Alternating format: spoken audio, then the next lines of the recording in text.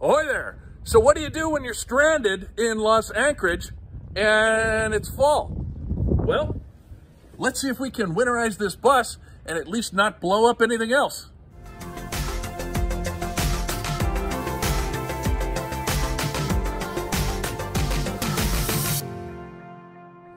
So I guess before I start this whole debacle, I should probably bring you guys inside, show you how this thing is supposed to work.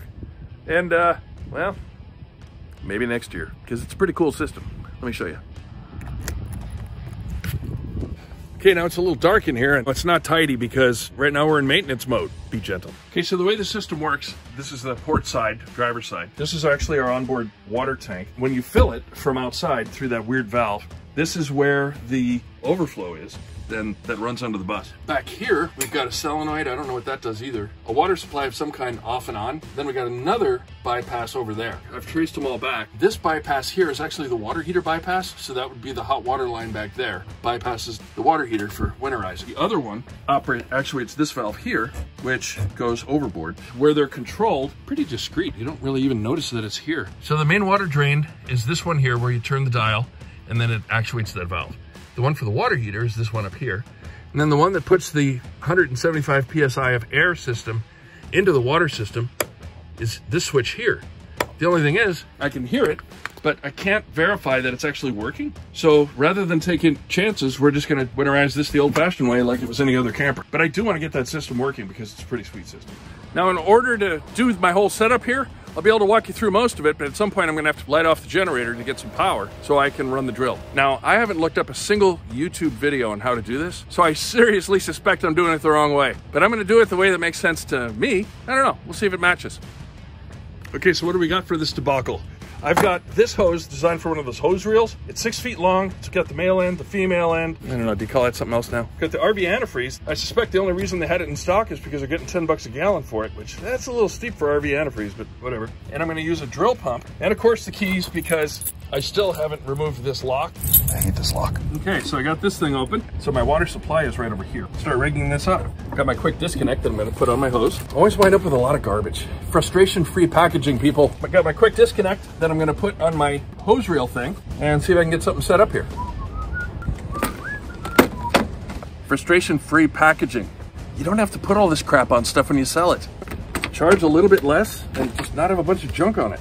People who don't know how to use a hose shouldn't be buying a hose. You know, the hardest part about this YouTube stuff, we're not allowed to have music playing. I hope you appreciate the sacrifice. Now, the way I'm doing this would pretty much apply to any standard RV. Sorry, that'd be a F-22 Raptor. It's out there protecting your freedom, so it's worth the inconvenience. Oh, oh, oh that one's coming close. Might get loud in a second. So here's what the pump looks like. Here we go. See, it's just a drill driven pump. It's got in and out, in and out. What I liked about this kit is it also came with a suction hose. And what I really like is it's got a little piece of plastic here that keeps it tidy. Now, there's a difference between frustration-free packaging and packaging you can use over. You know, like Grandma and Grandpa did, and they kept that old waffle iron in there from General Electric for like a thousand years.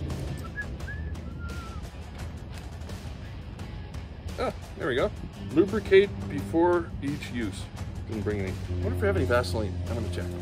Well, we don't have Vaseline, but we have the next best thing. We just have this hand soap, which will work as a lubricant for this hose thing. That way I won't have to listen to all the plumber guys give me grief because I'm not using food grade silicone. When I work on the well pump back at the cabin, that's exactly what we use. We're not at the cabin. It's combat rules here. The suction hose goes in here, so I'll put a little more on here. Just to dabble do ya. Turn to our demographics. Y'all are probably old enough you know what that means. If you haven't gone completely senile. Tell you, whatever happened to just regular keys? But these plastic things, they're a little cheaper to make and that's why they make them that way. I'm gonna hook up as much as I can before I fire up the generator because once I light that off, you're not gonna hear anything. You can tell all this stuff's new. It's really fighting me. Let me know in the comments. Think get 10 bucks a gallon for this stuff down there in the lesser 48? Anyhow. I felt bad about the noise the generator's gonna make. Let's just shove this in here. Kind of like a Slurpee. Now let me show you what I'm gonna do inside. How many times can you take your shoes off and put your shoes on? Yes! now this selector would be in here if this was still stock. I'm gonna switch this over to generator, and then I'm gonna go back and make sure I got power turned on on the fuse panel.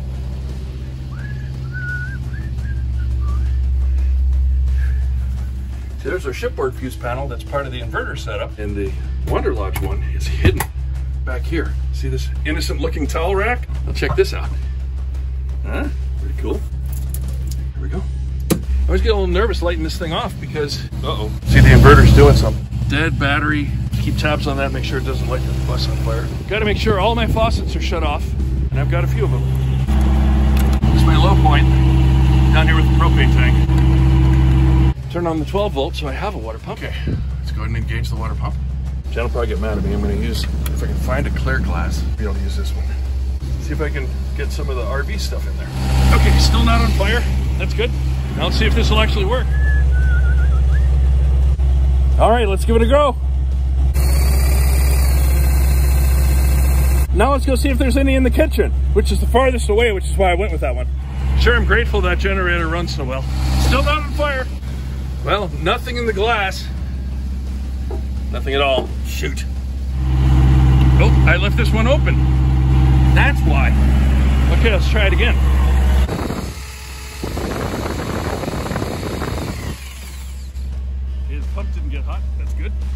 That's good. I'm gonna check that.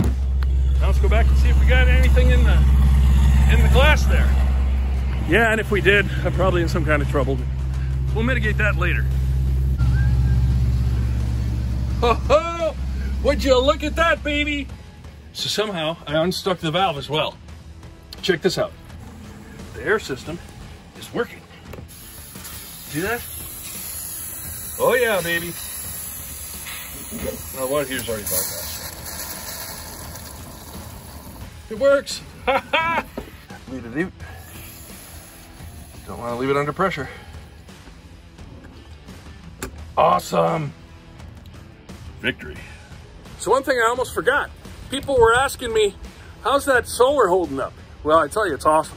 It's the Renogy 200 watt, you know, two 100 watt panels. Most importantly, with the MPPT charge controller, which if I'm not mistaken, is like at 48 volts. So that if you get 48 volts and one amp, it'll knock that down to 12 volts, which 12 times four, and you'll have four amps. I think that's how that works. So everything worked. The whole setup, the drill and the low point drain and everything, it worked. I'm just opening that up to a little, a little bit out there. Favorite bumper sticker, love it. It worked, it totally worked. Now you might be asking yourself, self, why does Larry have a bucket? I'm gonna go ahead and hang on to this and I'm gonna put it in there along with all this other stuff. Because let's face it, if you're not organized with an RV, well then you're just, a, what do they call that, a hot mess? Hope you guys enjoyed the video. Hope you learned something. I learned something. You know, the traditional way to winterize an RV. So is it the right way for a Wander Lodge? No. But now that I got the onboard system working, that means we can take it out whenever we want and we can still use it. But I still like having the RV antifreeze in there. Takes care of the P-traps. This gives me that warm, fuzzy feeling. Anyway, hope you guys enjoyed the video. We could really use a little more feedback. Like, what do you guys want to see? Let us know. We got beautiful Alaska here. We're not taking the bus out again this year. Probably. Well, maybe. Morgan's got a swim meet somewhere in Alaska. Maybe we'll try to take it. Really appreciate all you guys. And remember, be kind.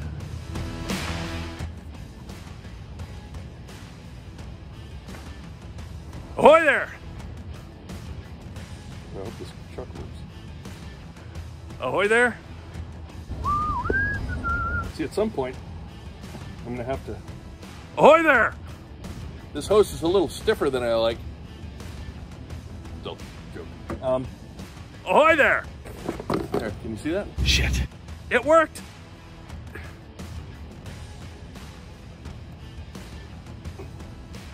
Ahoy there!